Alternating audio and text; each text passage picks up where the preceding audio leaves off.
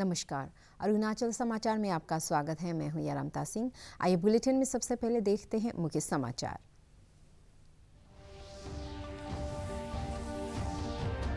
केंद्रीय मंत्रिमंडल ने भारत की विनिर्माण क्षमताओं और निर्यात को बढ़ावा देने के लिए 10 प्रमुख क्षेत्रों के लिए उत्पादन से जुड़ी प्रोत्साहन योजना को दी मंजूरी। वर्ष 2024-25 तक सार्वजनिक निजी भागीदारी में वित्तीय सहायता योजना जारी रखने को भी मंजूरी।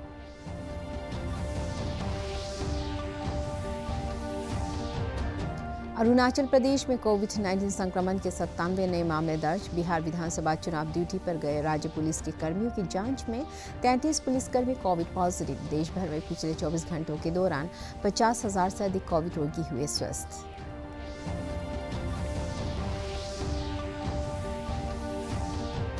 विधायक कालिंग मोयोंग और जिला उपायुक्त किन्नी सिंह ने ईस्ट सियांग ज़िले के गांधी गवर्नमेंट मॉडल स्कूल के नए भवन और राज्य के प्राथमिक विद्यालय पासीघाट में तीन क्लासरूम का किया उद्घाटन।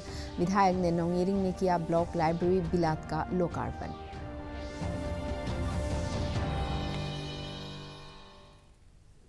केंद्रीय मंत्रिमंडल ने भारत की विनिर्माण क्षमता और निर्यात को बढ़ावा देने के लिए 10 प्रमुख क्षेत्रों के लिए उत्पादन से जुड़ी प्रोत्साहन योजना पीएलआई को मंजूरी दी है। इनमें दूरसंचार और नेटवर्किंग उत्पाद, औषधि उद्योग, मोटर वाहन और उसके हिस्से, पुर्जे, कपड़ा और जुड़े उत्पाद तथा खाद्य उत्पाद शामिल है। आज मंत्रिमंडल की बैठक के बाद केंद्रीय सूचना और प्रसारण मंत्री प्रकाश जावड़ेकर ने पत्रकारों को बताया कि ये योजना भारतीय निर्माताओं को विश्व स्तर पर प्रतिस्पर्धी बनाएगी। निवेश को आकर्षित करेगी तथा निर्यात को प्रोत्साहित करेगी। उन्होंने कहा कि इससे देश में उत्पादन निर्यात और रोज़गार के अवसर भी बढ़ेंगे। केंद्रीय मंत्रिमंडल की आर्थिक मामलों की समिति ने वर्ष 2024-25 तक सार्वजनिक निजी भागीदारी में वित्तीय सहायता योजना जारी रखने को मंजूरी दी है। इसके लिए 8,100 करोड़ रुपये आवंटित किए गए हैं। आज नई दिल्ली में मंत्रिमंडल की बैठक के बाद संवाददाताओं को जानकारी देते हुए वित्त मंत्री निर्मला सीतारमन ने कहा कि इस योजना का उद्देश्य सामाजिक और आर्थिक बुनियादी ढांचे के अंतर्गत सार्वजनिक निजी भागीदारी को बढ़ावा देना, परिसंपत्तियों के कुशल निर्माण और उनके उचित संचालन और रखरखाव को सुनिश्चित करना है। भारत को साकार करने की दृष्टि से ये निर्णय महत्व का होगा। लेकिन आज का निर्णय 10 क्षेत्रों का इतना महत्वपूर्ण है कि लगभग दो लाख करोड़ दिवाली के मौके पर एक उद्योग क्षेत्र को बहुत बड़ा तोहफा और उससे देश का उत्पादन बढ़ेगा, निर्यात बढ़ेगी, रोज़गार बढ़ेगा। तो ये बहुत है। इसके परिणाम भी आने लगे मोबाइल की अनेक कंपनियाँ बाहर से भी आए the FDI has come foreign companies have come and are manufacturing in India and देश के भी लावा माइक्रोमैक्स कार्बन जेन आदि कंपनियों को इसका लाभ मिलेगा। इससे ग्लोबल चैंपियन तैयार करने की कल्पना है। और पीएलआई हर साल उत्पादन बढ़ने पर और एक एक साल के बाद वो बढ़ता जाएगा। We are looking at one आत्मनिर्भरता two making sure that India will be a part of the global value chain and three ensuring that critical sunrise sectors get the necessary support from the government so that we are able to build an India which is strong enough to service its own domestic market, but also making sure that uh, we are able to link up with the global value chains. Whereas in the social sector, where we are now announcing that we'll uh, make available the viability gap funding, 30% will be given by the center of the total project cost. Another 30 will be either the department which deals with it or the state government which wants it and the rest 40% will come through private participation. केंद्र सरकार ने online फ़िल्मों दृश्य श्रव्य कार्यक्रमों online समाचार और समसमाय विषयों के कार्यक्रमों को सूचना और प्रसारण मंत्रालय के अंतर्गत लाने का आदेश जारी कर दिया है इससे नेटफ्लिक्स हॉटस्टार प्राइम वीडियो और ऑनलाइन न्यूज़ पोर्टल्स जैसे ओवर द टॉप यानी ओ प्लेटफॉर्म के प्रसारण अब सूचना और प्रसारण मंत्रालय के दायरे में आ जाएँगे। आज नई दिल्ली में जारी गजट अधिसूचना में इसकी घोषणा की गई है। फ़िलहाल डिजिटल सामग्री के विनियमन के लिए भारत में कोई सवायत संगठन या कानून नहीं है। देश में। भारतीय प्रेस परिषद मुद्रित माध्यम यानी पत्र पत्रिकाओं में प्रकाशित होने वाली सामग्री को देखती है। समाचार चैनलों पर ध्यान देने के लिए न्यूज़ ब्रॉडकास्टर्स एसोसिएशन, एनबीए हैं, जबकि advertising standards council of India विज्ञापनों का ध्यान रखती है। इसके अलावा केंद्रीय फ़िल्म प्रमाणन बोर्ड सीबीएफसी फ़िल्मों की निगरानी करता है। अरुणाचल प्रदेश में मंगलवार को कोविड 19 संक्रमण के सत्तानवे नए मामले दर्ज किए गए हैं, जिसमें से बिहार विधानसभा चुनाव ड्यूटी पर गए अरुणाचल प्रदेश पुलिस के तैंतीस पुलिसकर्मी शामिल हैं।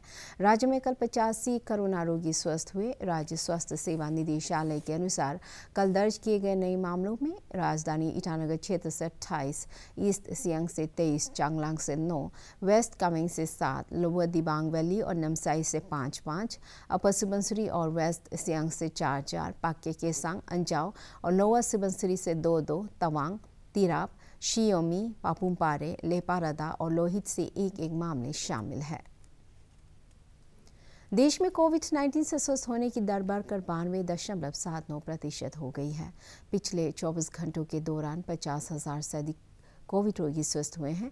केंद्रीय स्वास्थ्य और परिवार कल्याण मंत्रालय ने कहा है कि देश में कोविड 19 से स्वस्थ होने वालों की संख्या 80 लाख के ऊपर हो गई है। देश में इस समय चार लाख चौरानबे हज़ार छः सौ सत्तावन लोग की संक्रमित हैं। पिछले 24 घंटों के दौरान चौवालीस हज़ार दो सौ इक्यासी लोगों के संक्रमित होने से देश में संक्रमित मामलों की संख्या बढ़कर छियासी लाख से अधिक हो गई है। कल 512 लोगों की मौत के साथ ही देश में मरने वालों की संख्या एक लाख सत्ताईस हज़ार पाँच सौ इकहत्तर हो गई है। वरिष्ठ भाजपा नेता और राज्य के स्वास्थ्य एवं परिवार कल्याण मंत्री आलो लिबांग ने पार्टी कार्यकर्ताओं से पंचायत चुनाव के लिए तैयार रहने का आह्वान किया है।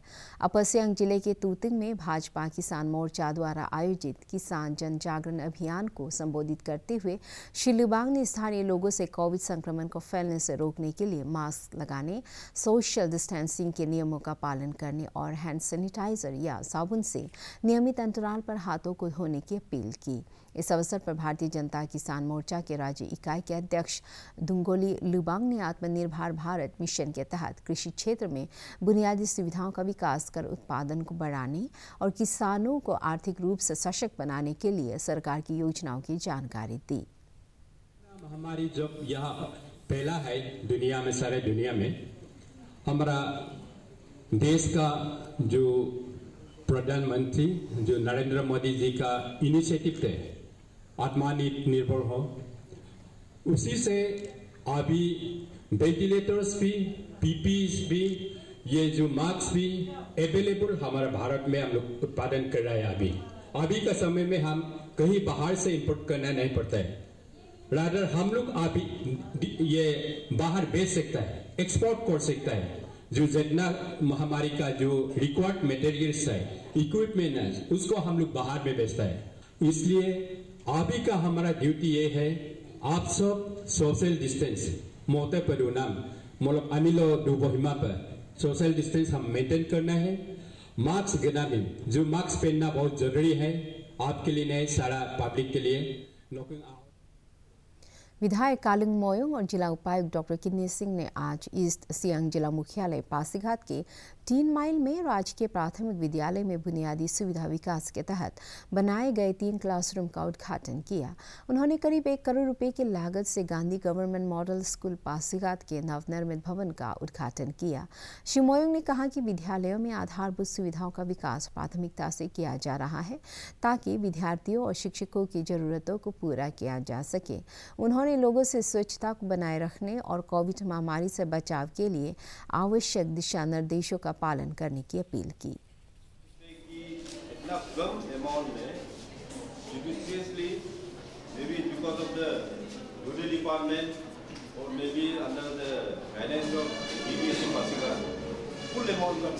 किया।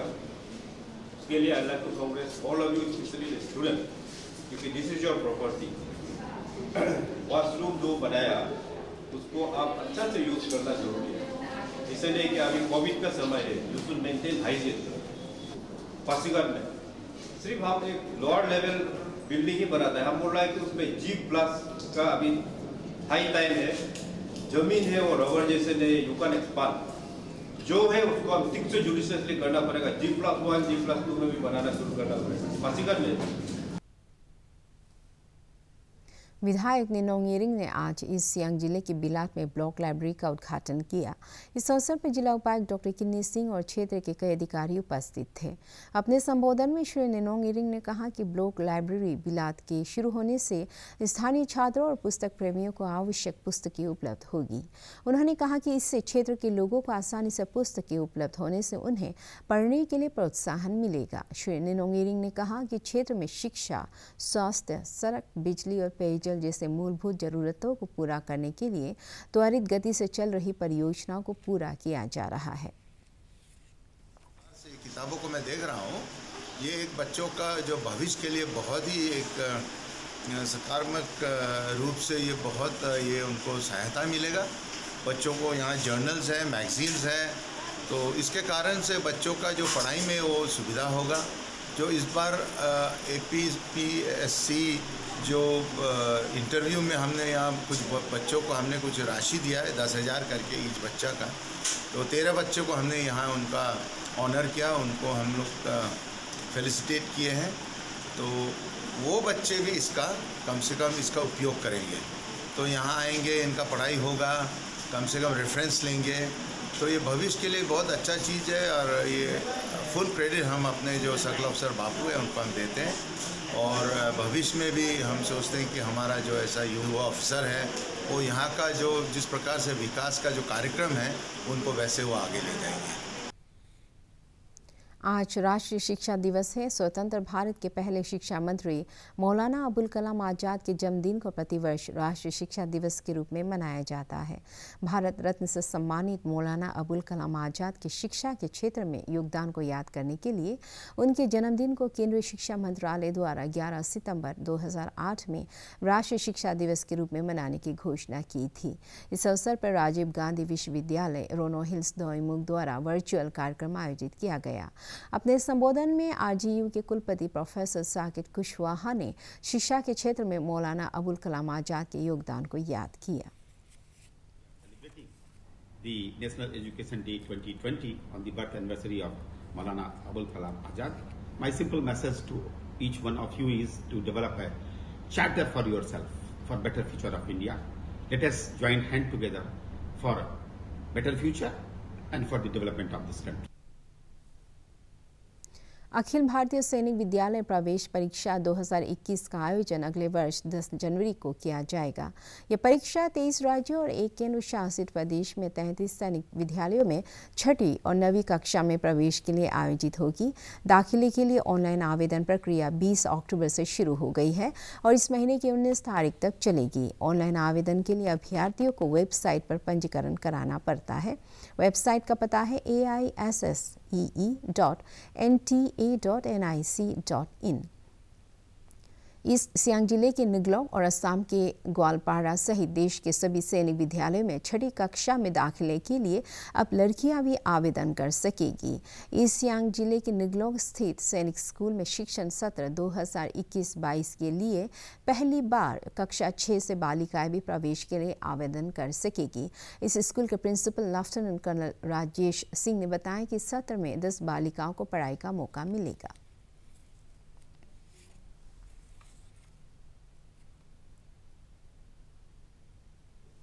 अपर सियांग ज़िले के तूतिंग सर्कल के मोलुंग गाँव में किसान इन दिनों जैविक खेती कर रहे हैं। सरकार और राज्य के कई अन्य संगठनों द्वारा चलाए जा रहे जन जागरूकता अभियान से यहाँ के किसान उन्नत खेती के लिए प्रोत्साहित हो रहे हैं। मोलुंग गाँव से चीन की सीमा करीब 30 किलोमीटर दूर है। यहाँ के किसान याजोंग ने बताया कि पहले असम के सिलापथार और अन्य नगरीय क्षेत्रों से अनाज और सब्जियों को मंगाने में ज़्यादा कर्ज आता था, पर अब जैविक खेती से स्थानीय स्तर पर खाद्यान्न जरूरतें पूरी हो रही है। उन्होंने कहा कि केंद्र और राज्य सरकार की योजनाओं का लाभ किसानों को मिल रहा है और इससे आत्मनिर्भरता के साथ साथ आर्थिक स्थिति भी मज़बूत हो रही है। हाथ से उन लोग ये खेती बाड़ी किया। सुना है सीट में भी गवर्नमेंट ऑफ़ एग्रीकल्चर ये अरुणाचल और एग्रीकल्चर से कुछ मिला और बाकी अपना ये से पॉकेट से उन्होंने खर्चा करके बहुत अच्छा यहाँ खेती किया। यहाँ देखता है तो अदारक है, पालक है, ये इसके बाद काफ़ी कई तरह का टेन फिफ्टीन आइटम्स जैसा सब्ज़ी यहाँ डाला हुआ है जिसका नाम हम नहीं ले पा रहे हैं। और मुझे ये जान के बहुत अच्छा महसूस हुआ कि तुतिंग जैसा जगह जहाँ हमारा सब्ज़ी बहुत आदमी लोग कम उगाता है। तो उनको अवेयरनेस देने के लिए मैं उनसे मऊ को भी यही विनती करता हूँ कि वो हर बस्ती में जाए और ऐसे ही सिखाते है। एक तो यहाँ का प्रॉब्लम है हमारा गोम्पा में 250 करीब आने वाला है बच्चा भी है। अच्छा। तो उन सब के लिए हम लोग सिलापत्थर से लेके आना पड़ता है। तो सिलापत्थर से गाड़ी भाड़ा कैरिंग चार्ज ऐसा ऐसा करके बहुत मतलब और गर्म दिन का मौसम में ये कट जाता है। रोड ब्लॉक हो जाता है, उसमें नहीं आ पाता है। तो इसलिए हम सोचा है कि यहाँ में एक ऑर्गेनिक सब्ज़ी यहाँ का मतलब प्रोडक्ट मिलने से ठीक है बोल के, इसलिए कुछ ना कुछ हेल्प मिल जाएगा बोल के, इसलिए ये काम शुरू किया है। अरुणाचल समाचार के आज के अंक में इतना ही। जाने से पहले आप सभी से अनुरोध है कि कोविड 19 के दिशा निर्देशों का पालन करें, हमेशा मास्क लगाएँ बार बार हाथ धोएँ और सोशल डिस्टेंसिंग के नियमों को मानें।